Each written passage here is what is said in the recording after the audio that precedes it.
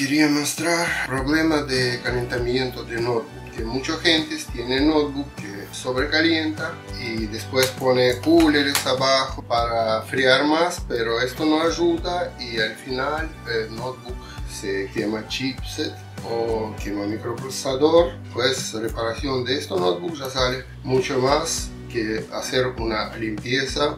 Algunos notebooks tiene una tapa fácil para abrirlo, ahí donde tenemos un cooler y donde tenemos radiadores. Hay unos modelos que tenés que desarmar casi hasta último tornillo. Por ejemplo, esto no ya empecé a desarmar, solo sacando teclado, ya podemos ver cómo está todo sucio en esta parte.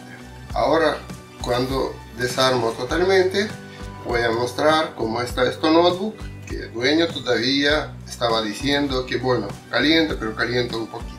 Tienes que desarmar algunos notebooks para hacer limpieza de estos cooler y de estos dos radiadores que cubren chipset y que cubren el microprocesador de la computadora. Por eso no recomiendo hacer en casa de prueba para no romper alguna pieza y llevar al servicio técnico. Voy a desarmar esta parte y mostrar cómo está sucio esta computadora. Tenemos desarmado parte de refrigeración y ya puedo ver que tenemos que cambiar la raza siliconada, poner nueva porque esta está bastante seca y no va a pasar bien temperatura. También ya vemos color que empezó a recalentarse y romperse, vomita sobre chips. Acá se ve bien que el chipset estaba por quemarse. Está tapadas salidas de aire desde adentro, no totalmente, pero casi 50% está tapada. Hay que limpiar parte de cooler y lubricar